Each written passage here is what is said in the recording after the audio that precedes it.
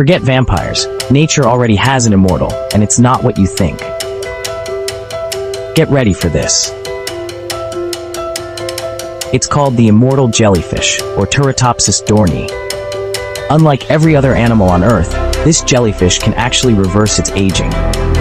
When it gets old or injured, it transforms its adult cells back into youthful ones, basically hitting the reset button on life. Scientists still don't fully understand how it does this.